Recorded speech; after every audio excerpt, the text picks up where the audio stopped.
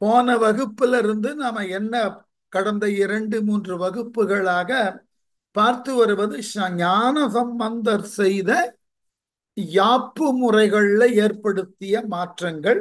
அதை தொடர்ந்து அந்த கடைசி பாட்டுக்கு வரும். நாலடி மேல் வைப்பு மேன்மை நடையின் முடுகு இராகம் சால்பினில் சக்கரம் ஆதி திகர்ப்பங்கள் சாற்றும் பதிக மூல இலக்கியமாக எல்லா பொருள்களும் முற்ற ஞாலத்து உயர் காழியாரை பாடினார் ஞான சம்பந்தர் சீர்காழிப்பதியில இருக்கக்கூடிய இறைவனை பாடுதற்காக பல புதிய யாப்பு முறைகளை உருவாக்கி அந்த யாப்பு முறைகளின் அடிப்படையில இறைவனை புகழ்ந்தார். அதுல நாலடி மேல் வைப்புன்னா ஈரடி மேல் வைப்பை ஏற்கனவே பார்த்துருப்போம். ரெண்டு அடியில் பாட்டு எழுதப்படும். அதனுக்கு கீழாக மற்ற இரண்டு அடி சேர்க்கப்படும். அதுபோல நாலடியாக எழுதப்படக்கூடிய பாடலுக்கு எழுதி முடித்ததன் பின் தனியாக ரெண்டு அடி சேர்த்து எழுதப்படும். ஆகவே உள்ளது நாலடி மேலே அடிஷ்னலா ரெண்டு அடி. ஆகவே இதுக்கு பேர் நாலடி மேல் வைப்பு. அப்புறம் முடுகு ராகம்னா முடுகுன்னா ஏற்கனவே படிச்சிருக்கோம். குரில் எழுத்துகளை கொண்டு அமைக்கப்படுவது முடுகு ராகம். அப்புறம் சக்கரம் அப்படின்னாக்க வேற ஒன்றும் இல்லைங்க. ஒரு ஸ்தலத்திற்கு பல பெயர் இருக்கும். நான் ஏற்கனவே சொல்லியிருக்கேன். சீர்காழிக்கு பத்து பெயர் உண்டு. அந்த பத்து பெயரையே திரும்ப திரும்ப பாடல்ல சொல்லுதல். ஒரு சுழற்சி முறையில இதுக்கு பேரு பல்பெயர் பத்துன்ற ஒரு பேரும் இருந்தது. சக்கரம்னு பேரு. சீர்காழிக்கு சீர்காழி கொச்சை வயம் காழி தோணிபுரம் இந்த மாதிரி எல்லாம் பேர் இருக்கு இல்லையா? இந்த பத்து பெயரையும் ஒரே பாட்டுல சுற்றி சுற்றி அமைக்கப்படுவதனால அதுக்கு பேரு சக்கரம்னு பேரு. சக்கரம்னா சுழலுதல் ஆகவே பல பெயர்களை கொண்டு சுழன்று சுழன்று அந்த இறைவனது புகழை பாடுதல்.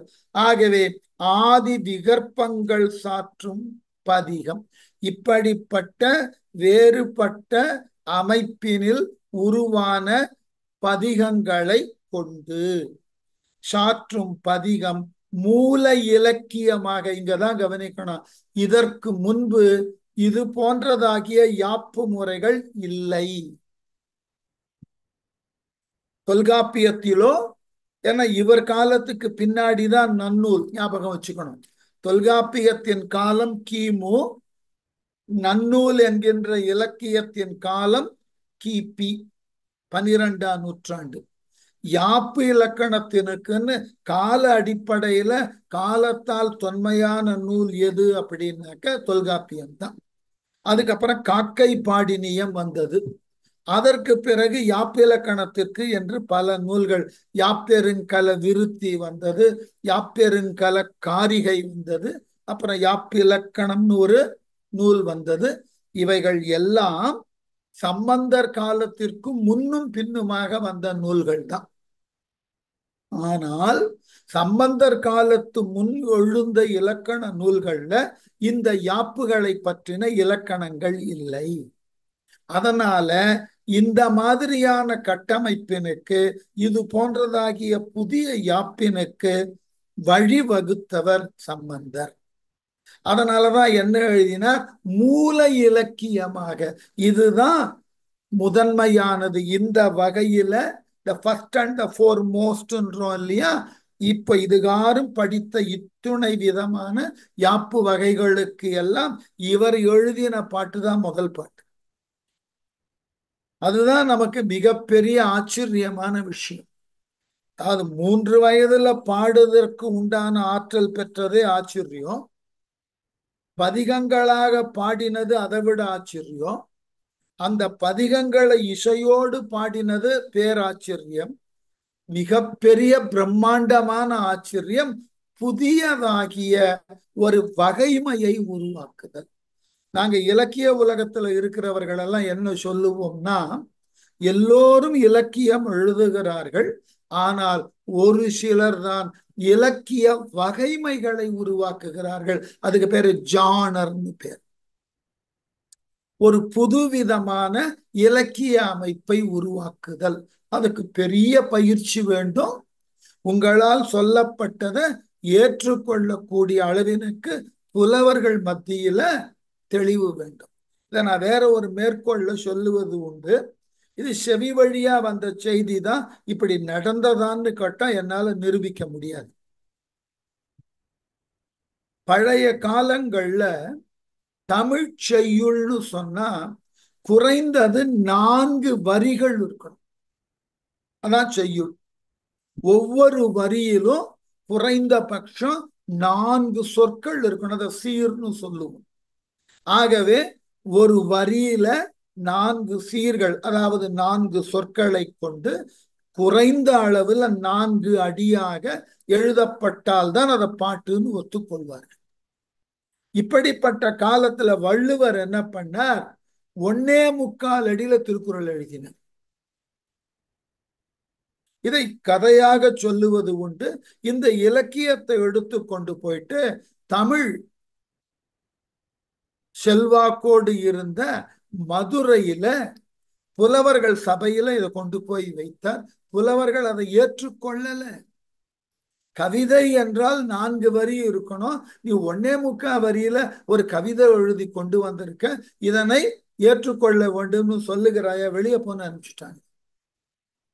என்ன செய்வது என்று தெரியாது வெளியே வந்த வள்ளுவரை ஔவையார் சந்தித்து இவ்வளவு அற்புதமான நீதியை சொல்லக்கூடிய நூலையா அவர்கள் மறுத்தார்கள். வா நான் சங்க பலகையை அழைக்கிறேன்னு சொல்லி புலவர்கள் மத்தியில பொற்றாமரை குளத்துல இருந்த பலகையை அழைத்து அதுல இந்த நூலை வைத்தார்கள்.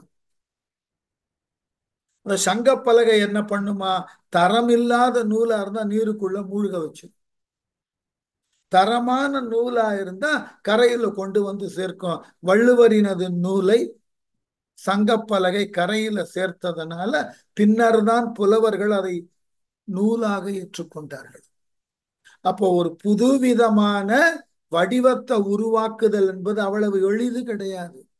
பாடு பொருளாகட்டும் அந்த பாடு பொருளை அமைந்துள் பாடுபொருள் அமைந்துள்ள யாப்பு என்கின்ற அந்த செய்யுள் ஆகட்டும் இவைகள் இரண்டிலும் புதுமையை உருவாக்குதல் என்பது அந்தந்த காலத்துல வாழ்ந்த புலவர்கள் ஏற்றுக்கொண்டாலன்றி செல்வாக்கு பெறார் இந்த வகுப்பிலேயே பல பேர் நடனத்துல இருக்கிறவங்க தான். நடனத்துல நீங்க கையாளக்கூடிய உருப்படிகள் எல்லா காலத்திலும் இப்படியே தான் இருந்ததான்னா இல்ல. நிரூபணங்கள்னு மராட்டியர்கள் காலத்துல இருந்த முறை வேறு. அந்த நிரூபணங்கள்ல கையாளப்படக்கூடிய பாடல்கள் எல்லாம் ஒரே ராகத்துல இருக்கணும். கொஞ்சம் நினைத்து பாருங்கள் பதினாறு உருப்படிகள் கொண்டது நிரூபணம். ஒரே ராகத்துல தான் எல்லா பாடல்களும் இருக்கணும்னா மேடையில பதினாறு உருப்படியையும் ஒரே ராகத்துல பாடும்போது கேட்பவர்களுக்கு என்ன ஆகும்? சிக்கல் வரும். அப்போ இந்த புதுவிதமான யாப்பு முறையை உருவாக்குதல் என்பது அவ்வளவு எளிதல்ல. ஏன்னா இந்த அதுதான் நடனத்தை உடனே அதுக்கு தான் மேற்கோளா காமிச்சேன். அந்த நிரூபணத்திலிருந்து பல ஆண்டுகளாக இருந்த நிரூபணத்திலிருந்து மார்க்கத்தை உருவாக்குகிறார்கள் தஞ்சை நால்வர். அந்த மார்க்கத்துல அதுவரைக்கும் இல்லாத ஒரு உருப்படி சேர்க்கப்பட்டது. எதுன்னா கீத கோவிந்தம். நிரூபணால நீ கீத கோவிந்தம் கிடையாது.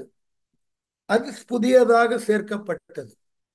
பின்னாளில் அந்த மார்க்கத்துல மொத்த உருப்படிகள் பனிரெண்டுன்னா இன்றைக்கு நடைமுறையில எத்துணை நடன ஆசிரியர்கள் இந்த மார்க்கத்திலிருந்து கொஞ்சம் விலகி பல புது உருப்படிகளை கொண்டு வந்து சேர்த்திருக்கிறார்கள் பாருங்க. இந்த மாதிரி ஒன்ன கட்டமைப்புக்கு உண்டான ஒன்றுல புதியதாகிய சில உருப்படிகளை கொண்டு சேர்ப்பதற்கு ஒரு தெளிவு வேண்டும்.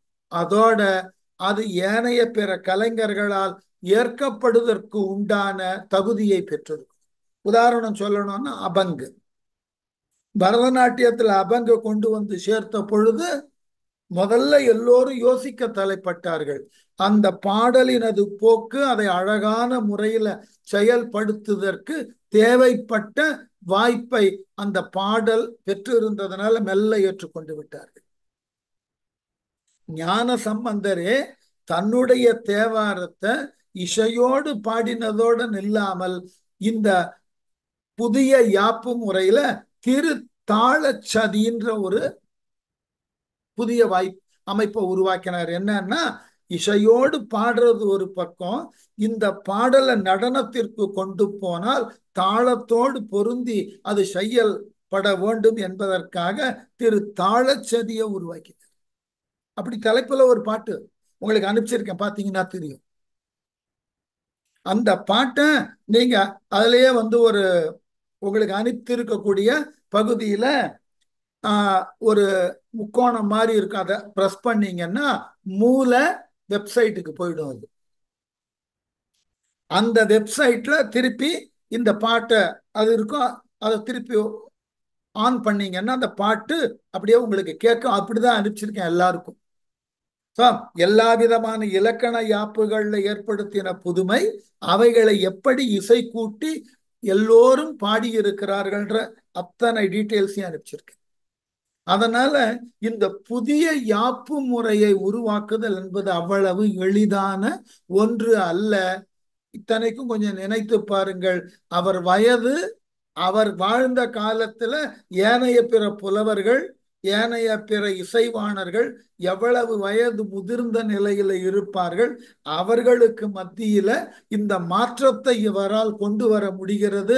அதோடு மட்டும் இல்லாமல் அதை எல்லோராலும் ஏற்கப்படக்கூடிய அளவில எடுத்து மொழிய முடிகிறதுன்னா அதுதான் பெரிய சிறப்பு. அதனாலதான் மூல இலக்கியமாக எல்லா பொருள்களும் முற்ற இந்த எல்லா பொருள்களும்னா அகப்பொருள் புறப்பொருள் அறம் பக்திமை எல்லா பொருளும் இடம்பெறக்கூடிய அளவுல ஞாலத்து உயர் காழியாரை. இந்த உலகத்தில் சிறந்து உயர்ந்திருக்கக்கூடிய திரு காழி என்கின்ற சீர்காழியில் உள்ள இறைவனை பாடினார் ஞான சம்பந்தர் ஞான சம்பந்தர் தன்னுடைய பா பதிகங்களின் மூலமாக பாடி புகழ்ந்தார். முடிச்சிட்டாரா? இனிமே நாம கதை பகுதிக்கு போறோம். இன்னிசை பாடின எல்லாம் யாழ் பெரும் பாணனார்த்தாமும் மண்ணும் இசை வடிவான மதங்க சூளாமணியாரும் பண்ணிய ஏழிசை பற்றி பாட பதிகங்கள் பாடி பொன்னின் திரு தாளம் பெற்றார் புகழியர் போற்றியிருந்தார். ஆகவே புதிய யாப்பு முறையை உருவாக்கினா அதுல தாள முறையும் மாறும் இசை முறையும் மாறும். அதனால இந்த புதிய யாப்பு முறையில் எழுதப்பட்ட பாடல்களுக்கு எல்லாம் அவரோடு இருந்த நீலகண்ட யாழ்ப்பாணரும் அவரது துணையாகிய மதங்க சூளாமணியாரும் அழகாக இசை வடிவம் தந்தார்கள்னு விளக்கம் கொடுத்துட்டார். இன்னிசை பாடினையெல்லாம் சம்பந்தரால் பாடப்பெற்ற இந்த பாடல்கள் எல்லாம் யாழ் பெரும் பாணனார் யாழினை கொண்டு இசை வளர்க்க தெரிந்த பாணனார் நீலகண்ட யாழ்ப்பாணர் தாமும் மண்ணும் இசை வடிவான மதங்க சூளாமணியாரும். இசையே வடிவாக காட்சியளிக்கக்கூடிய நீலகண்ட யாழ்ப்பாணரின் துணைவியான மதங்க சூளாமணியாரும். பண்ணிய ஏழிசை பற்றி ஏழு சுரங்களின் சேர்க்கையினால் உருவான பாடல்களை இசையை கொண்டு பண்ணிய ஏழிசை பற்றி பாட பதிகங்கள் பாடி சம்பந்தர் சொல்ல சொல்ல அதை ஏழு இசையோடு பொருத்தி பதிகங்களாக பாட முன்வந்தார்கள். அவ்விருவரும் பாடி பொன்னின் திருத்தாளம் பெற்றார். புகழியில் போற்றி இருந்தார். இறைவனால் பொத்தாளம் கொடுக்கப்பட்டவராகிய சம்பந்தர் புகழியில இவ்வாறு சிறப்போடு அங்கு இருந்து தன்னுடைய ஆற்றலால் இத்தகு புதிய யாப்பு முறைகளை எல்லாம் உருவாக்கி இறைவனை பாடி பரவி மகிழ்ந்திருந்தார் சில காலம் சீர்காழியிலேயே. அங்கண் அமர்கின்ற நாளில் அருந்தமிழ் நாடு நாடு எத்தினுள்ளும் திங்கட்சடையான் அண்ணாலார்த்தம் திருப்பதி யாவையும் கும்பிட்டு எங்கும் தமிழ் மா தமிழ் மாலை பாடி ஏத்தி இங்கு எய்துவன் என்று தங்குல தாதையாரோடும் தவ முனிவர்க்கு அருள் செய்தார். சில நாட்கள் இருந்து சீர்காழியில பாடினார். இதோடு போதாது தமிழகத்துல இருக்கக்கூடிய எல்லா சிவத்தலங்களுக்கும் சென்று பாட வேண்டும் என்ற உள்ளுணர்வு இறைவனால் அவருக்கு கொடுக்கப்பட்டதாம் அங்கண் அமர்கின்ற நாளில் இவ்வாறு பலவாகிய புதிய யாப்பு முறைகளை கொண்டு சீர்காழி இறைவனை பாடி பரவி வாழ்ந்த சில நாட்கள்ல அருந்தமிழ் நாடு எத்தினுள்ளும் அரிய தமிழ்நாடு என்று சொல்லக்கூடிய தமிழ்நாடு முழுவதுமாக. தமிழ்நாடு என்று சொல்லக்கூடிய அந்த நிலப்பரப்பு முழுவதுமாக என்ன செய்யணுமா? திங்கள் சடை அன்னலார்த்தம் திருப்பதி யாவையும்.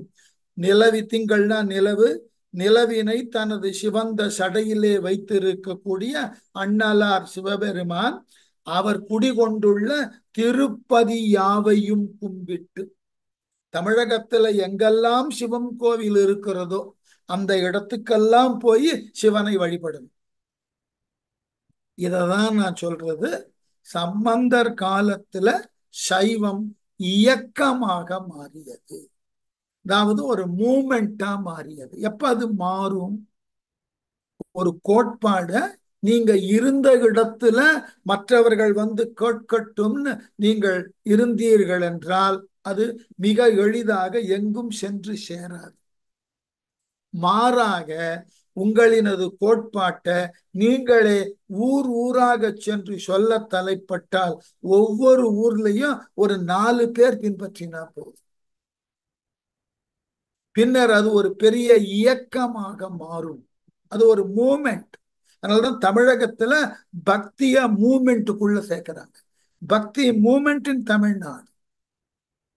இது ஒரு பக்தி இயக்க காலம். அதனால இவருக்கு அந்த ஒரு இன்ட்யூஷன்னு சொல்லுங்க இறையருள்னு சொல்லுங்க அல்லது அவர் விரும்பினார் இப்படி வேணாலும். தமிழகத்துல இருக்கக்கூடிய எல்லா கோவில்களுக்கும் சிவபெருமான் குடிகொண்டுள்ள எல்லா கோவில்களையும் எல்லா தலத்தையும் சென்று தரிசனம் செய்து பாடி பரவ வேண்டும்ன்ற முடிவுக்கு வந்தார். ஆகவே எங்கும் தமிழ் மாலை பாடி எத்தி இங்கு எய்துவன் என்று. அவ்வாறு பல தலங்களுக்கும் சென்று தமிழகம் முழுவதுமாக சுற்றி இறுதியில மீண்டும் சீர்காழிக்கு வந்து சேருவேன் என்று. பின் இங்கு வந்து சேருவேன் என்று என்ன செய்தாரா? தங்குல தாதையாரோடும் தம் பெருமையை தந்தையார் சிவபாத ஹிருதயருக்கும் தவ முனிவர்களான அடியவர் மற்றும் அந்தணர்களுக்கும் கூறினார். தங்குல தாதையாரோடு தன் குலத்தில் இருக்கக்கூடிய அந்தணர்கள் தன் குலத்தை சார்ந்த அந்த கோவிலிலே பணியாற்றக்கூடியவர்கள் தாதையாராகிய தந்தையாகிய சிவபாத ஹிருதயர் அப்புறம் சைவத்தை முழு முதல் வழிபாட்டு பாதையாக கொண்டு இருக்கக்கூடிய சிவனடியார்கள். அத்தனை பேருக்கு இது அறிவித்தார் நான் சீர்காழியில இதுவரைக்கும் இருந்தது போதும். இனி நான் தமிழகம் எங்கும் செல்ல போகிறேன். எங்கெல்லாம் சிவனது கோவில் இருக்கிறதோ அங்கெல்லாம் சென்று இறைவனை பரவியும் பாடியும் புகழ்ந்தும் வரப்போகிறேன் என்று சீர்காழியிலிருந்து தன்னுடைய பயணத்தை தொடங்க முன் வருகிறார் இனி அடுத்த பகுதி. பெருகு விருப்புடன் நோக்கி பெற்ற குலத்தாரையாரும் அருமையால் உம்மை பயந்த அதனால் பிரிந்து உறைவு பிரிந்து உறைவாற்றேன். இருமைக்கும் இன்பம் அளிக்கும் யாகமும் யான் செய்ய வேண்டும். ஒருமையால் இன்னம் சில நாள் உடன் எய்துவேன் என்று உரைத்தார். இதுல என்ன குறிப்பு? இந்த முறை பயணப்படுகின்ற பொழுது தந்தையார் உடன் வரல. அதுக்கு நாம வலுவான காரணங்கள் நிறைய சொல்லலாம். ஷக்கிழார் ஒரு புதிய காரணத்தை சொன்னார். முதல்ல என்ன வலுவான காரணம் சொன்னார்? போன வரை சென்ற முறை பல இடத்திற்கு சிவபாத விரதையர் போனதன் காரணம் சம்பந்தரை தோல்ல தூக்கிண்டு போன இப்போ சம்பந்தருக்கு முத்து பல்லக்கு கிடைத்தாயிற்று. அதை தூக்குதற்கு அடியவர்கள் இருக்கிறார்கள். ஆகவே தந்தையார் கூட போக வேண்டாம். ஒன்று. இரண்டாவது தந்தையாருக்கும் வயதாகிறது. ரெண்டு. மூன்றாவது சில சாதனைகள் செய்ய வேண்டும்னா கூடிய மட்டும் நம்மோடு சார்ந்து இருக்கக்கூடிய உறவாளர்களை அழைத்து செல்லாமல் இருப்பது நல்லது. என்ன காரணம்னா நம்முடைய இலக்கு ஒன்றில் இருக்கும். அதனை நோக்கி நாம பயணப்படுகின்ற பொழுது நம் மீது கொண்ட ஈடுபாடானா ஈடுபாட்டினாலும் நம் மீது கொண்ட ஆர்வத்தினாலும் அவர்கள் ஏதாவது தடையை சொல்லுவார் இல்ல இல்ல வேண்டாம். இப்ப நீ அதை ட்ரை பண்ண வேண்டும் ஏதாவது சொல்லுவார். இது எல்லா இடங்களிலும் நீங்க பார்க்கலாம். ஆனா இங்க என்ன சொன்னார் வேடிக்கையாக செக்கிழார் தந்தையார் இந்த முறை உடன் வரலன்னு சொல்லிவிட்டாராம். ஏன்னாக்க நான் இங்கு சில வேள்விகள் செய்ய வேண்டி இருக்கின்றது அவைகளை எல்லாம் செய்து முடித்ததன் பின் நீ இருக்கக்கூடிய இடத்துல வந்து நான் சேர்ந்து கொள்ளுகிறேன். இப்பொழுது நீ உன் பயணத்தை தொடரலாம்னு உத்தரவு கொடுத்தாராம். பெருகு விருப்புடன் நோக்கி தந்தையாராகிய சிவபாத ஹிருதயர் மகனின் மீது உண்டான விருப்பத்தோடு அன்பு பொருந்தி அவரை பார்த்து பெற்ற குலத்தாத யாரும் அந்த தோணிபுரத்திலே இருக்கக்கூடிய தந்தையாராகிய சிவபாத ஹிருதயரும் என்ன செய்ய வேண்டுமா? அருமையால் உம்மை பயந்த அதனால் பிரிந்துரையாற்றி அரிய தவம் செய்து அதன் பயனாக உன்னை ஈன்றெடுத்தேன். ஆதலால் உம்மை பிரிந்து இங்கு இருப்பதற்கு ஒருப்படேன் உன்னை பிரிஞ்சு என்னால் இருக்க முடியாது. ஏன்னா செய் தவத்தின் பயனாக நீ பிறந்து இருக்கிறாய் ஆகவே உன்னை பிரிந்திருப்பது என்பது என்னால் முடியாது.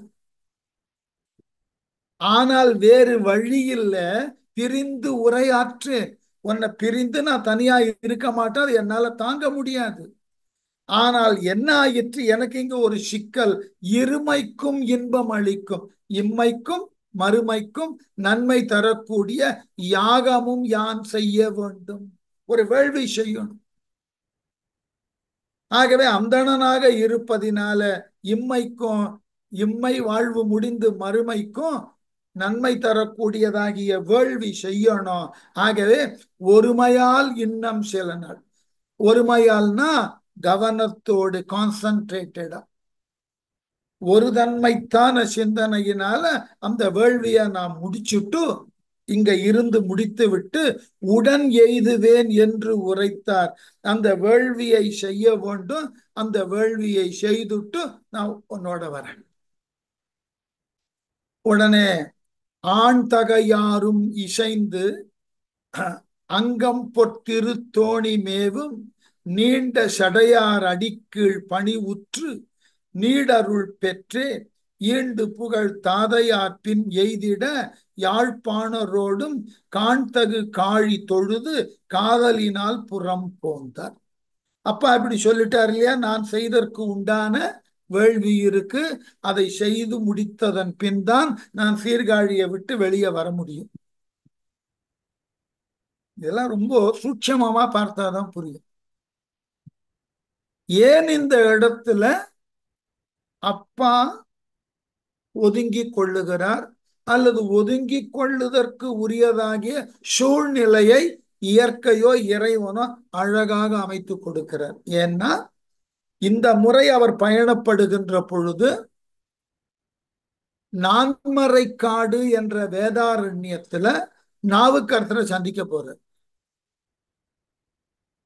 அங்கு அவர்கள் இருவரும் சேர்ந்திருந்த நேரத்துல மதுரையிலிருந்து மங்கையர்கரசியின் ஏவலால் ஒருவர் ஞான சம்பந்தர மதுரைக்கு அழைக்க வருகிறது.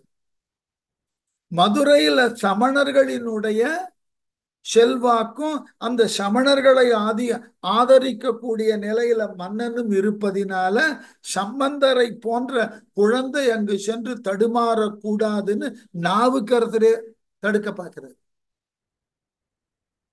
ரொம்ப நாகரீகமா இப்போ வான்நிலையும் கோள் நிலையும் சரியில்லை போக வேண்டாம்னு நாகரீகமா தடுத்து பார்க்கிறார் நாவுக்கருத்தர் உடனே சம்பந்தர் பாடி விட்டுறார் கோள் அறுப்பதிகம். அவைகளெல்லாம் நம்ம என்ன செய்யும் அப்படின்னு. ஆகவே கிளம்பி போயிடுறார் மதுரைக்கு. அந்த இடத்துல தந்தையார் இருந்திருந்தா அனுமதித்திருக்கவே மாட்டார். அப்போ மதுரையில சம்பந்தர் தனித்து சென்று அங்கு மேற்கொள்ளப்பட வேண்டிய செயல்கள் சில உள்ளன. அதை அவர் மட்டுமே சென்று செய்தாக வேண்டும். அப்படிப்பட்ட சூழ்நிலையில தனியாக செல்லுதல் என்பதுதான் நல்ல பயன். எத்தனை பேருக்கு ஒத்துப்பீங்களோ தெரியாது. நான் சொல்லக்கூடிய கருத்து அது கொஞ்சம் வருத்தமா இருந்தாலும் இருக்கலாம் நகைச்சுவையை தருவதாக இருக்கலாம். வேடிக்கையாக சொல்லுவது உண்டு. கணவன் கார் ஓட்டும் போது அருகில மனைவி உட்கார்ந்து இருக்கக்கூடாது. ஏனென்றால் கணவன் கார் ஓட்டும் திறத்தை கண்டு இவர்கள் மனது பொறாமல் ஏதாவது இன்ஸ்ட்ரக்ஷன் கொடுத்துக்கிட்டே வரும் அப்ப காரை ஓட்டக்கூடியவ குழம்பி போய் நின்று அதாவது வேடிக்கையாக சொல்றது உண்டு. ஒரு மனைவி சமைத்து கொண்டிருந்தாளாம் கணவன் அருகில் வந்து நின்று ஆஹ் உப்பு போட்டாச்சா? ஆஹ் உப்பு இவ்வளோ எடுத்துக்கோ. ஆஹ் இந்த ஸ்பூன்ல எடுத்துக்கோ. இப்படி மொள்ள அந்த பரவினா அது போல தூவு. இப்போ தூவின கையோட ஒரு கிளறு கிளறு அப்படின்னு ஒவ்வொன்றுத்துக்கும் இன்ஸ்ட்ரக்ஷன் கொடுத்து கொண்டே வந்தார். ஒரு ஸ்டேஜில் மனைவி சமைக்கிறத நிறுத்திட்டு நான் பல வருஷமா சமைத்து கொண்டு இருக்கிற மாதிரி எல்லாம் இன்ஸ்ட்ரக்ஷன்லாம் கொடுத்தா பிடிக்காது. நான் என்ன குழந்தையா இன்றைக்கா புதியதாக சமைக்கிறேன் அப்படின்னு சத்தம் போட்டாள் உடனே கணவன் சொன்னார் அது போலதான் நான் பல வருஷமா கார் ஓட்டிக்கிட்டு இருக்கேன். ஒவ்வொரு நாளும் என் பக்கத்துல உட்காந்துக்கிட்டு நான் எப்படி ஓட்டணும்னு எனக்கு நீ இன்ஸ்ட்ரக்ஷன் கொடுக்காது. இதுதான் சில சாதனைகள் செய்தற்கு அவரவர் தனித்து முனைகின்ற பொழுது அருகு இருக்கக்கூடியவர்கள் உரியன சொல்லாமல் தடுப்பது போல ஏதாகிலும் சொல்லி நிறுத்திடுவார்கள். இது ஒரு ஆபத்து. அதனால் ஏனென்றால் மதுரையில சம்பந்த சமணர்களினுடைய செல்வாக்கு அதிகம். அவர்கள் மிக பெரிய அளவில் இருக்கிறார்கள். எண்ணிக்கையில குழந்தையாக இருக்கக்கூடிய சம்பந்தர் அங்கு சென்று என்ன இடர்பாட்டினுள் சிக்குவாரோ? எல்லாருக்கும் கவலை வரும். எல்லாருக்கும் கவலை வரும். அவன் தந்தையாராகிய சிவபாத இருதயருக்கு கேட்கவே வேண்டாம். தவமிருந்து பெற்ற பிள்ளை. அவர் அனுப்ப மாட்டார். அவர் அனுப்பலைன்னா மதுரையில சமணத்திற்கு மாற்றாக சைவத்தை ஞான சம்பந்தர் காலுன்ற செய்திருக்க முடியாது. இதெல்லாம் தான். இதெல்லாம் குறிப்பா சொல்லணும். அதனால இப்படி ஒரு பின்புனைவை எடுத்து கொள்ளுகிறார் சேக்கிழார். ஏதோ சிவபாத ஹிருதயருக்கு அங்க ஒரு பணி இருப்பது போலவும் இம்மைக்கும் மறுமைக்கும் நன்மை பயக்கக்கூடிய ஒரு வேள்வி செய்யணும். அந்த வேள்வியை செய்து பின்னர் நான் வந்து உன்னோடு சேர்ந்து கொள்ளுகிறேன். ஆகவே நீ புறப்படுன்னு வாக்கு கொடுக்கிறார்.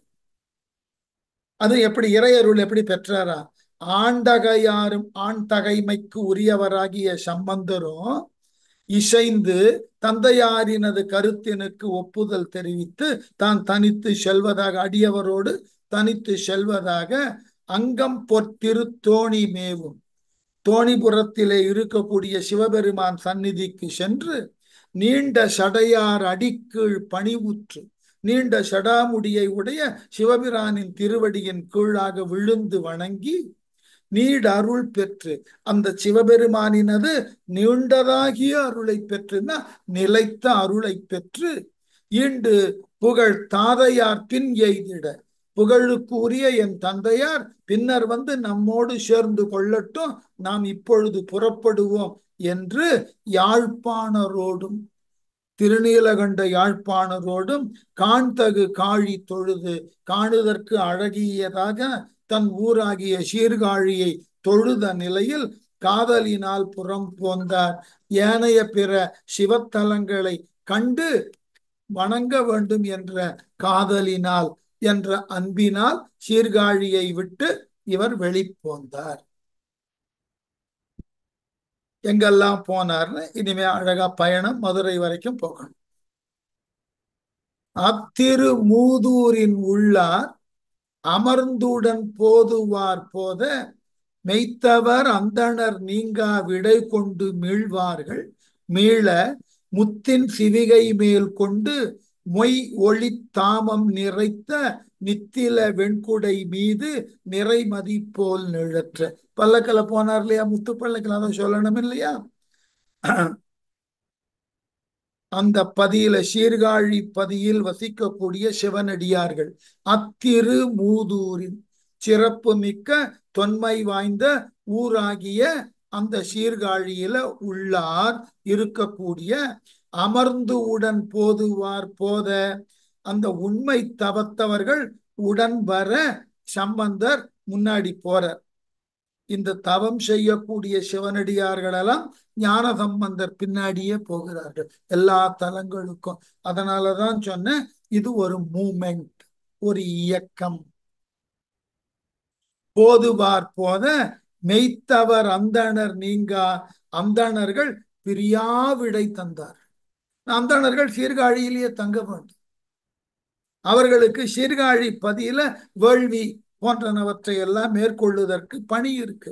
ஆகவே அந்தணர்களெல்லாம் பின்தங்க மற்றைய சிவனடியார்கள் எல்லாம் சம்பந்தரோடு சென்றார்கள் விடை கொண்டு மீழ்வார்கள் ஊர் எல்லா வரைக்கும் வந்து ஞான சம்பந்தருக்கு விடை கொடுத்து அந்தணர்களெல்லாம் மீண்டு சீர்காழி பதியினுள் சென்றார்கள். ஊர் எல்லையிலிருந்து சம்பந்தர் என்ன பண்ணாராம் முத்தின் சிவிகை மேல் கொண்டு முத்துக்களினால் செய்யப்பட்ட அந்த பல்லக்கின் மீது அமர்ந்து மேல் கொண்டு மொய் ஒளி தாமம் நிறைத்து அந்த முத்து மாலைகளினால் அலங்கரிக்கப்பட்ட அழகான குடையையும் ஏந்தி இந்த முத்துப்பந்தல் நித்தில வெண்குடை மீது நித்திலம்னா முத்து. அந்த முத்து குடையும் நிழற்ற நிறைமதி போல் நிழற்ற பூரண சந்திரன் போல அந்த பல்லக்குக்கு மேல அந்த குடையானது நிலவு போல வடிவத்தாலும் ஒளியாலும் சிறக்க சீர்காழியை விட்டு பிற நகரங்களுக்கு அல்லது பிற தலங்களுக்கு செல்லுதற்கு சம்பந்தர் முன் போந்தார். சின்னம் தனிக்காலம் தாரை சிறப்புறத்து ஆண்டகை வந்தார் எனும் தகைமை விளங்க ஏற்ற திருப்பெயர் சாற்ற முன் எம் மருங்கும் நிறந்த முரசுடை பல்லியம் ஆர்ப்ப மன்னும் திரு தொண்டனா தொண்டரானார் வந்து எதிர்கொண்டு வணங்க. அப்போ சம்பந்தருக்கு சின்னமும் கொடுத்தார்னு படிச்சிருக்கோம் இல்லையா? அந்த சின்னம் அதான் ஊது கொம்பு அது சம்பந்தருக்கு என்ற ஊது கொம்பு அந்த ஒலியை காட்டால் அது சம்பந்தர் வருகிறார்னு எல்லாருக்கும் தெரியும். சின்னம் தனி காலம் அதாவது சின்னமும் ஒப்பில்லாத முத்து காலம் காலம்ன்றது ஒலி எழுப்பக்கூடிய கொம்பு. காலம் தாரை தாரைனாக்க அடிக்கக்கூடிய தோற்கருவி. சிறபுறத்து ஆண் தகை வந்தார். சீர்காழியில் தோன்றின ஆளுடைய பிள்ளையார் நம் தலத்தினுக்கு எழுந்தருளி இருக்கிறார் எனும் தன்மையை உலகுக்கு அறிவிக்க என்னும் தன்மையை விளங்க உலகத்துல இவர் எங்க போனாலும் இந்த ஒலிகளை கொண்டு இவர் சீர்காழியிலிருந்து எழுந்தருளி இருக்கக்கூடிய சிவஞானர் என்ற தெளிவு எல்லாருக்கும் கிடைச்சது. ஏற்ற திருப்பெயர் சாற்ற. அப்படி ஊருக்குள்ள வரும்போது இந்த சின்னங்கள் எல்லாம் ஒழிக்கும் போது சத்தம் இடும்போது பல்லக்கு தூக்கி கொண்டு வரக்கூடியவர்கள்ல சிலர் இவருடைய பெயரை சொல்லி இவர் வருகிறார் வருகிறார் பராக் பராக்னு சொல்லுவார். இதெல்லாம் அந்த காலத்து மரபு. ஏனென்றால் ஒவ்வொருவருக்கும் தனித்தகுதி அந்த பல்லக்கு ஊது சின்னம். இதோடு அங்கு உடன் வரக்கூடியவர்கள் இன்னார் வருகிறார் இன்னார் வருகிறார் என்று நீங்கள்லாம் அது இப்போ பார்த்துருக்கிறதுக்கு வாய்ப்பு இருக்காது. நான் பல இடங்கள்ல பல முறை பார்த்திருக்கிறேன் மறைந்த காஞ்சியில இருந்த பரமாச்சாரியார் பலமுறை இந்தியாவை சுற்றி பார்த்திருக்கிறார்.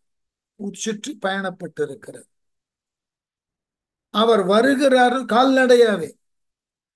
அவர் வருகிறார்னு சொன்னா ஒரு ஊரில் இருக்கக்கூடிய அந்தணர்கள் எல்லாம் ஊர் எல்லையில போய் அவரை வரவேற்பார். அடுத்த ஊர்ல இருந்து வந்தவர்கள் ஊர் எல்லையில இவரை நம்மிடம் கொடுத்து விட்டு நீங்கள் பொறுப்பாக இவரை பார்த்து கொள்ளுங்கள் அவர்கள் விடை பெற்று போவார்கள். ஊர் எல்லையில் இருந்து இவர் தங்குதற்கு உண்டான இடம் வர வரைக்கும் உடன் வரக்கூடியவர்கள் ஜெய ஜெய சங்கர சிவ சிவ சங்கரன்னு சொல்லிக்கொண்டே வருவார். உண்மையிலேயே அவர்களுக்கெல்லாம் காலம் உண்டு ஊது கொம்பு உண்டு மேளதாள வாத்தியங்கள் உண்டு. ஊர் எல்லையிலிருந்து வந்தா உடனே தான் மேலதாள வாத்தியங்கள் எல்லாம் வைத்து அவரை வரவேற்கலாம். ஆனா அது வர்ற வரைக்கும் இவர் வந்து கொண்டிருக்கிறார் என்பதற்கு உண்டான குறியீடு எதுன்னா உடன் வரக்கூடிய அடியவர்கள் எல்லாம் இப்ப நான் சொன்னேன் இல்லையா சிவ சிவ சங்கரான்றது ஹர ஹர சங்கர் இது சொல்லிக்கொண்டே வருவார். அப்பொழுதுதான் இந்த துறவியார் வருகிறார். அதை விட நான் பணியாற்றினது ஜெயின் கல்லூரியில. பல முறை சொல்லியிருக்கேன். அங்க இந்த சாதுர் மாசியம்னு சொல்லக்கூடிய மழை மாதம் ஒரு பத்து நாள் பெர்வா பெருஷன் ஒரு விழா நடக்கும் எங்கள் கல்லூரிகள்ல. எங்களுக்கெல்லாம் விடுமுறை விட்டுடுவார்கள் பத்து நாள். விநாயக சதுர்த்தி பத்தாவது நாளா இருக்கும். அதுக்கு முன்னாடி ஒன்பது நாள். இந்த துறவிகள் எல்லாம் ஒரு பொது இடத்துல வருவார்கள். காட்டுல மழையில இருக்க முடியாது. சாதுர் மாசியத்துல. பெரும்பாலான சமண துறவியர்கள் திகம்பரர்கள். ஆடை அணிய மாட்டார்கள். அப்ப வீதியில ஆடை அணியாமல் வந்தால் பார்க்கிறவன் என்ன நினைச்சுப்பான்? அதனால என்ன செய்வார்கள்? அவர்கள் வருகிறார்கள் என்பதற்காக முன்னாடி ஒரு அறிவிப்பு வாகனம் வரும். நீங்க வேண்டுமான் இந்த ஆண்டு பெருஷன் பர்வா வரும்போது பாருங்க வேடிக்கையா இருக்கும். அந்த அறிவிப்பு வாகனத்துல ஒரு பெரிய பலகை எழுதி வைக்கப்பட்டிருக்கும் என்ன? சமண மதத்தை சார்ந்த திகம்பர சந்நியாசிகள் வந்து கொண்டிருக்கிறார்கள். திகம்பரர்கள் என்றால் ஆடையற்றவர்கள் என்று பொருள். ஆடையற்ற நிலையில துறவியர்கள் வந்த வண்ணம் இருக்கிறார்கள். இவர்களுக்கு ஏதாகிலும் ஊறு விளைவித்தால் அவர்களை சுடுதற்கு எங்களிடம் அதிகாரம் இருக்கிறது. பலகையே பேனர் எழுதி வச்சிருக்கோம். கொண்டு வரும் ஏனென்றால் ஒவ்வொரு மதத்தினுக்கும் ஒரு வழிமுறை இருக்கு. அத நாம இருக்கக்கூடிய மதம் வேறு என்பதனால அந்த வழிமுறை தப்புன்னெலாம் சொல்லக்கூடாது. அதனால இந்த காலத்திலேயே இவ்வளவு ஜாக்கிரதையா போகணும். சம்பந்தர் போன்றவர்கள் வாழ்ந்த காலத்துல எல்லாம் முடிமன்னர்கள் காலம். மன்னர்கள் ஆதரவு பெற்று விட்டால் போதும். என்ன வேணா பண்ணலாம். அதனால இந்த சம்பந்தர் அந்த ஆயு வாத்திய கருவிகளை ஏன் பயன்படுத்தினார்னா ஊர்ல இருக்கிறவனுக்கு தெரியணும். இங்க வந்து கொண்டிருப்பவர் சம்பந்தர் அதான் அவருக்கு உண்டான வாத்தியம். அப்ப ஊர் மக்கள் எல்லாம் இவரை வரவேற்க முன் வருவான். அப்ப இவர் பாதுகாப்பாக பயணிக்க முடியும். அதனாலதான் ஏற்ற திருப்பெயர் சாற்ற முன்னம் எம்மருங்கும் நிறந்த முரசுடைய பல்லியம் ஆர்ப்ப. அவர் போகக்கூடிய பாதையில மிகுதியான ஒலியை எழுப்புவதற்கு உண்டான பல்வேறு விதமான முரசுகளெல்லாம் ஒலிக்க மறைகள் முழங்க பிறை சந்திரனையும் பாம்பையும் அணிந்த இறைவனது திருப்பதிகளெங்கும் முன் சென்று மேன்மேலும் பெருகும் விருப்பத்துடன் போற்றியும் சீர்காழி கவுனியர்த்தம் செல்வ தோன்றலார் எழுந்தருளி சென்றார். முரசுடை பல்லியம் ஆர்ப்ப மண்ணும் திரு தொண்டர் ஆனார். வந்து எதிர்கொண்டு வணங்க. அப்படியே ஒவ்வொரு ஊர் மக்களும் எதிர வந்து வணங்க ஒவ்வொரு ஊராக செல்லுகிறார். என்ன செய்தாராம்? அந்த பாட்டு. சங்கின் நாதங்கள் ஒலிப்ப இவரினுடைய சின்னம் ஒலிக்கும். ஊருக்குள்ள நுழையும் போது அந்த ஊர் மக்கள் இவரை வரவேற்கும் போது அவர்கள் மங்கள வாத்தியத்தோட வரவேற்பார்கள் அல்லவா? அதுதான் சங்க நாதங்கள் ஒலிப்ப தழங்கு பொன் கோடு முழங்க மங்கள வாழ்த்துரை எங்கும் மல்க மறைமுன் இயம்ப திங்களும் பாம்பும் அணிந்தார் திருப்பதி எங்கும் முன் சென்று பொங்கிய காதலில் போற்ற புகழி கவுனியர் போந்தார்.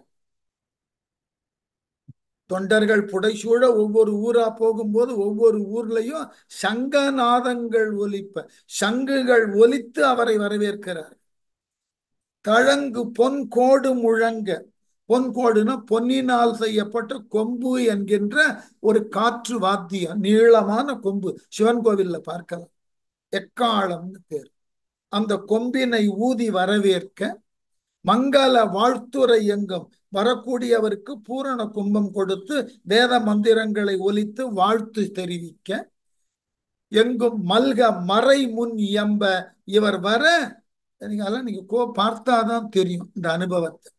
வரவேற்கக்கூடிய அந்தணர்கள் பூர்ண கும்பம் கொடுத்து பின்னடையாகவே வருவார் அப்ப வேதம் ஒலித்து கொண்டே ஆகவே மறை முன் இயம்ப வேதங்கள் முன்னதாக முழங்க திங்களும் பாம்பும் அணிந்தார். நிலவினையும் பாம்பினையும் தனது தலையிலே அணிந்தவராகிய சிவபெரானின் திருப்பதி எங்கும் முன் சென்று அவர் எங்கெல்லாம் குடிகொண்டிருக்கிறாரோ அவருக்கு எங்கெல்லாம் கோவில் இருக்கிறதோ அங்கெல்லாம் போனார் சம்பந்தம் அதான் ஏற்கனவே சொல்லி இருக்கேன் தமிழகத்தில மிக அதிகமான தலங்களுக்கு சென்று வந்த பெருமை சம்பந்தரை சார் மூன்று வயதுல பாடத் தொடங்கி பதினாறு வயதுல இத்தனை சாதனையை முடிச்சுட்டார்.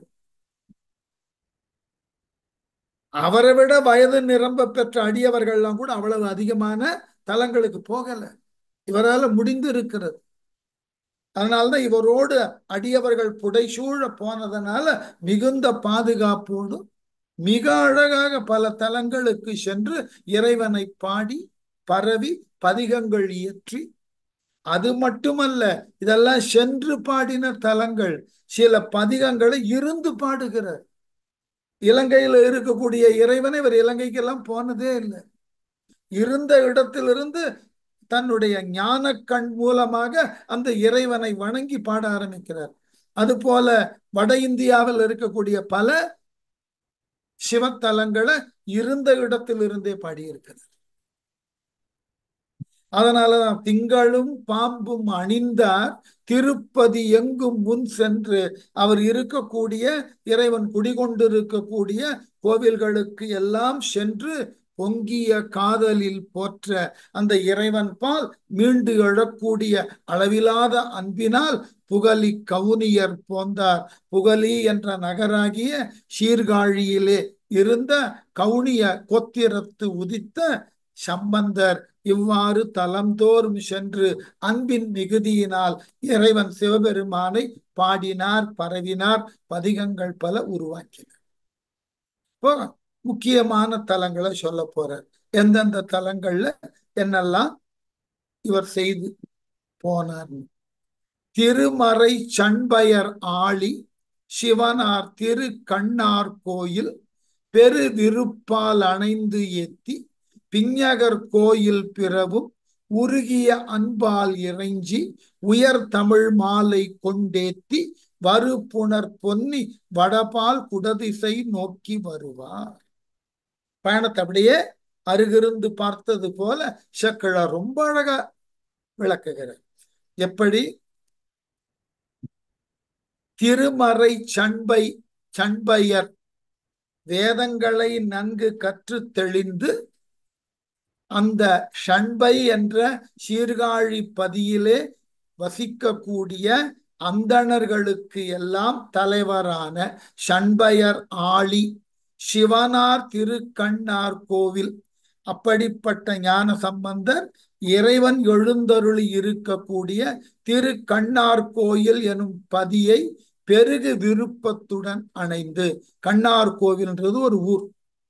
அந்த ஊர்ல இருக்கக்கூடிய சிவனை வழிபட வேண்டும் என்ற ஆர்வத்தினால் முன்வந்த சம்பந்தர் பெருதிருப்பால் அணைந்து ஏத்தி அந்த கண்ணார் கோவிலில் உள்ள இறைவனை புகழ்ந்து பாடி பிஞகர் கோயில் பிறவும் சிவபெருமானினது ஏனைய பிற கோவில்களுக்கும் உருகிய அன்பால் அந்த சிவன் மீது கொண்ட அன்பு இவர் உள்ளத்தை உருக்க அந்த இறைவனை சென்று இறைஞ்சி பணிந்து வணங்கி உயர் தமிழ் மாலை கொண்டேத்தி. தன்னிடம் உள்ளதாகிய உயர்ந்த மொழியினால் அந்த இறைவனை பதிகங்களால் பாடி வருபுனர் பொன்னி வடப்பால். பாய்ந்து வரக்கூடிய பொன்னின்னா காவிரி. காவிரி நரை நதியினது வடகரையில காவிரியின் தென்கரையிலிருந்து வடகரைக்கு போயிட்டு வடபால் குடதிசைனாக்க மேற்கு திசை நோக்கி பயணப்பட்டு இருக்கிறார் குணதிசைனா கிழக்கு குடதிசைனா மேற்கு. அந்த திசையில காவிரியின் வடகரையில இருக்கக்கூடிய சிவத்தலங்கள் மேற்கு திசையை நோக்கி இவர் பயணப்படுகிறார். அந்த பகுதிகளில் இருக்கக்கூடிய கோவில்களை எல்லாம் சென்று வழிபட. படி அதான் திருக்கண்ணார் கோவில்ல அவர் பாடின பதிகம் தன்னார் திங்கள் என தொடங்கும் பதிகம். அது குறிஞ்சி பண்ணில் அமைந்த பதிகம். அந்த திரு கண்ணார் கோவிலுக்கு இன்று பேச்சு வழக்குல ஊர் பெயர் மாறி இருக்கிறது அதுக்கு பேரு என்னன்னா குருமானக்குடி என இன்றைய பேச்சு வழக்கில் அழைக்கிறார்கள். அந்த கண்ணார் கோவில் என்ற பெயர் வழக்கு ஒழிந்து குருமானக்குடி என பெயர் பெற்று இருக்கிறது இப்பொழுது. இந்த மாதிரி இந்த மாதிரி கோவில் பலவும்னு சொல்லிவிட்டதுனால இந்த குருமானக்குடி பக்கத்துல திரு கடைமுடி திரு நாங்கூர் போன்ற தலங்களும் இருந்தன. அந்த தலங்களுக்கும் சென்று இவர் இறைவனை பாடியிருக்கலாம்.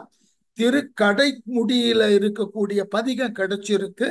அறுத்தனை என தொடங்கும் வியாழக்குறிஞ்சியில் அமைந்த பண் கிடைச்சிருக்கு.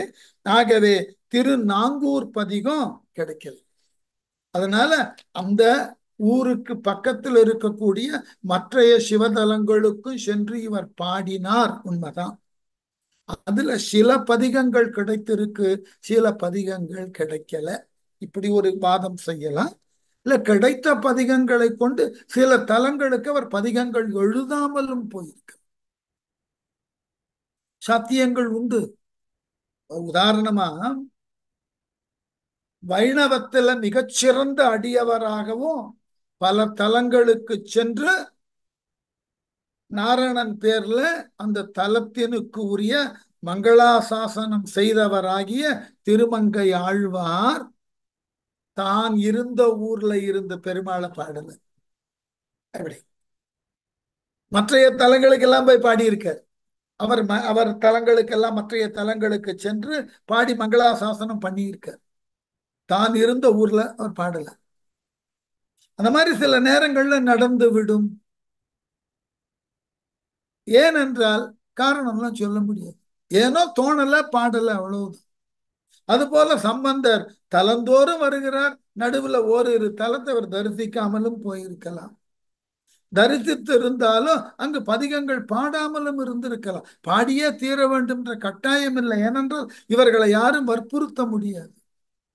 இவர்களை யாரும் நிர்பந்திக்க முடியாது. அவர்களுக்கு அந்த இறைவனை பார்த்த உடனே உள் ஒளி பெருகும். அதை கொண்டுதான் அவர்கள் பாடுவார்கள். அதனால இந்த மாதிரி பதிகங்கள் கிடைச்ச வரைக்கும் நமக்கு லாபம் அவ்வளவுதான்.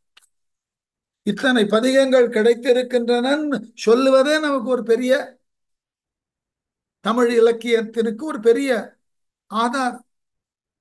கிடைக்கலன்னா என்ன பண்ண போறோம்? தேடி பார்க்கலாம். கிடைத்தால் பரவாயில்லை. அதனால இந்த ஊருக்கு அருகில் இருந்த மற்றைய ரெண்டு தலங்கள்ல ஒரு தலத்துக்கு பாடின பாட்டு கிடைச்சிருக்கு. நாங்கூருக்கு பாடின பாட்டு கிடைக்கல. அடுத்ததுக்கு போறோம். போற்றிய காதல் பெருக புள்ளிருக்கும் திருவேளூர் நார்த்தடம் தோளுடை மூன்று நயனப்பிரான் கோயில் நன்னி ஏற்ற அன்பு எய்த வணங்கி இருவர் புல் வேந்தர் இறைஞ்சி ஆற்றிய பூஷனை சாற்றி அம்சொல் பதிகம் அணிந்தார்.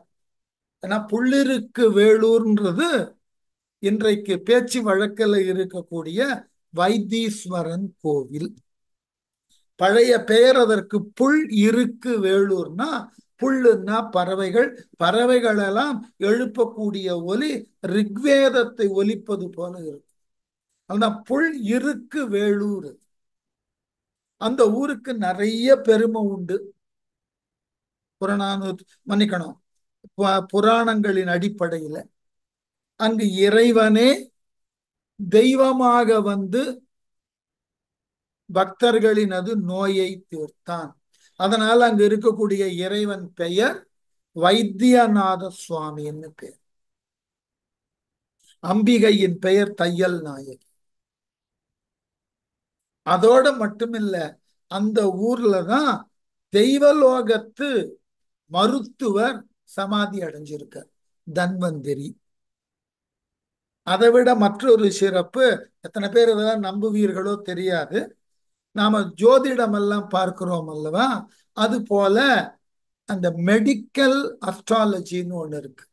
இந்த ஜோதிடத்தை மருத்துவத்தோடு ஒப்பிட்டு பார்ப்பது. அப்படி பார்த்தீர்கள் என்றால் நம்ம உடம்புல ஓடக்கூடிய ரத்தம் அது சார்ந்த நோய் இவைகளுக்கெல்லாம் அடிப்படையான கோள் எதுன்னா செவ்வாய். அங்காரகன். அந்த அங்காரகனால் வழிபடப்பட்ட ஸ்தலம் எதுன்னா வைத்தீஸ்வரன் கோவில் அதனாலதான் அங்காரகனுக்கு உண்டான ஞான குரு யாருன்னா முருகன். அங்க இருக்கக்கூடிய முருகன் பெயர் முத்துக்குமார சுவாமின்னு பேர். ஆகவே அவனை சென்று வழிபட்டால் அங்கார தோஷம் போகும். அதுக்குதான் நம்ம உடம்புல இருக்கக்கூடிய அந்த குருதியை தூய்மையாக வைத்து கொள்ளதான் நோய் இல்லாமல் இருக்க வேண்டும் என்பதற்காகத்தான் என்ன செய்வார்கள்னா உப்பும் மிளகுமாக காணிக்கையிடுவார். அதே போல அங்க வைத்தியநாத சுவாமி ஆகிய சிவபெருமானுக்கு அபிடேகம் செய்யப்படக்கூடிய திருநீரு மருத்துவ குணம் உடையது. அந்த திருநீரை அதுல பாத்தீங்கன்னா அப்படி கையில எடுக்கும் போதே கிரானியூல் கிரானியூலா சிலது கிடைக்கும். ஒரு சிறு கடுகு அல்லது மிளகு அளவுல. அந்த வாயில போட்டு நீங்கள் உட்கொள்ள வேண்டும். அந்த அந்த திருநீரும் அங்கு வைத்தியநாத சுவாமியின் மீதும் முத்துக்குமார சுவாமியின் மீதும் அபிடேகம் செய்யக்கூடிய சந்தனம் கெடுவதில்லை. அந்த தீர்த்தத்தை கூட கொண்டு வந்து எல்லோருக்கும் கொடுக்கின்ற வழக்கம் உண்டு. உஸ்மான் ரோடு இருக்கு இல்லையா டி நகர்ல? வடக்கு உஸ்மான் ரோட்ல தர்மபுர ஆதீனத்தினுடைய பிரச்சார அலுவலகம் இருக்கு. எப்படி சொல்லலாம் சட்டுன்னு ஞாபகம் வச்சுக்க. சுந்தரி சில்க்குக்கு அடுத்த பில்டிங் எல்லாருக்கும் சட்டுன்னு ஞாபகம் வச்சுக்கிறதுக்கு அதுதான். ஆஹ் இந்த மாதிரி திருவான்மியூர் அடையார் இந்த மாதிரி பகுதிகளில் இருக்கிறவர்களுக்கு மற்றும் ஒரு நற்செய்தி சுந்தரி சில்கினுடைய பிரான்ச் இங்க ஆரம்பிச்சாச்சு. சாஸ்திரி நகர் அதாவது இந்திரா நகர் தேர்ட் மெயின் ரோட்ல ஆரம்பித்திருக்கிறார்கள். சரியா? இதெல்லாம் ஒரு அடிஷ்னல் இன்ஃபர்மேஷன் இதுல இருந்து எங்கெல்லாம் போகலான்றதுக்கு சரி. அப்போ அந்த சந்தனத்தை இங்க கொண்டு வந்து வைப்பாரு. எப்பொழுது எல்லாம் கிருத்திகைக்கும் மாச சிவராத்திரிக்கும் சிவனுக்கும் முருகனுக்கும் செய்யப்பட்ட சந்தனத்து அபிடேக நீரை இங்க கொண்டு வந்து வைப்பார்கள். இங்க நீங்கள் கேட்டு பெற்று பயனடையலாம். ஏனென்றால் அவ்வளவு சிறப்புடைய ஒரு தலம் புள்ளிருக்கு வேளூர் என்கின்ற வைத்தியநாத சுவாமி குடிகொண்டுள்ள வைத்தீஸ்வரன் கோவில். இறைவன் வைத்தியனாக வந்து நோயை தீர்த்த தலம். அழகான கோவில். போய் பார்க்கலாம். சரி இந்த வைத்தீஸ்வரன் கோவில்ல மற்றொரு விதத்திலேயும் சிறப்பு. நடன உலகத்தில் இருக்கக்கூடியவர்கள் தெரியும். இந்த ஊரை சார்ந்தவர் தான் பரதநாட்டியத்திற்கு மிகுதியான பதங்களை எழுதின சுப்பிராம சாஸ்திரி இருந்த ஊர். வைத்தீஸ்வரன் கோவில் சுப்பிராம சாஸ்திரியார் இருந்த ஊர். இது ஒரு சிறப்பு. இப்ப நடைமுறையில என்ன சிறப்புன்னா இந்த ஊர்ல போய் நிறைய நாடி ஜோதிடம் பார்க்க அந்த அளவினுக்கு சிறப்பு வாய்ந்த தலமாக இருக்கிறது. ஆகவேதான் போற்றிய காதல் பெருக இறைவன் மீது இவரால் கொண்ட அந்த இறைவனை போற்றுதற்கு உண்டான அன்பானது பெருக. எங்கு போனாராம்? புள்ளிருக்கும் திருவேளூர். புள்ளிருக்கு வேலூர் வைத்தீஸ்வரன் கோவிலுக்கு நாத்தடம் தோளுடை நான்கு தோள்களை உடையவரும் மூன்று நயன பிரான். மூன்று நயனம்னா கண்ணு கண்களை உடைய நான்கு தோளும் மூன்று கண்களும் உடைய சிவபெரான் குடிகொண்டுள்ள கோயில் நன்னி. அந்த கோவிலை சென்றடைந்து ஏற்ற அன்பு எய்த அந்த இறைவன் பால் அன்பு அதிகமாக அந்த இறைவனை வணங்கி இருவர் புல்வேந்தர் இறைஞ்சி. ரொம்ப அழகான அங்க ரெண்டு புல்வேந்தர்கள் அடுத்த புராண நிகழ்ச்சி. சம்பாதியும் ஜடாயுவும் வணங்கின ஈஸ்வரன். ஆகவே இரண்டு புல்வேந்தர் புல்லுன்னா பறவை இங்க கருடன் சம்பாதி சம்பாதியோட சகோதரன் ஜடாயு. வேந்தர் இறைஞ்சி ஆற்றிய பூசனை சாற்றி அந்த இரண்டு கருடன்களும் அங்கு சிவபெருமானுக்கு செய்த வழிபாட்டின் பெருமையை பாராட்டி போற்றி அஞ்சொல் பதிகம் அணிந்தார் அதனுக்கு உரிய அளவுல அந்த ஜடாயுவையும் சாம்பாதியையும் பாராட்டக்கூடிய அளவுல அங்கு உள்ள இறைவன் மீது இவர் பதிகம் பாடி அருளினார். அங்க பாடின பதிகம் எதுன்னா கள்ளார்ந்த என தொடங்கும் ஸ்ரீகாமர பண்ணில் அமைந்த ஒரு அழகான பாட்டு. ஆகவே அந்த சாம்பாதியையும் ஷடாயுவையும் இடம் பெறக்கூடிய அந்த பதிகத்தை பாடியிருக்கிறார். சரியா? இன்று இதோடு நிற்போம். வைத்தீஸ்வரன் கோவிலில் இருந்து மீண்டும் அவர் எங்கெல்லாம் செல்லுகிறார் என்பதை சென்றார் என்பதை அடுத்த வகுப்பில் தொடரும்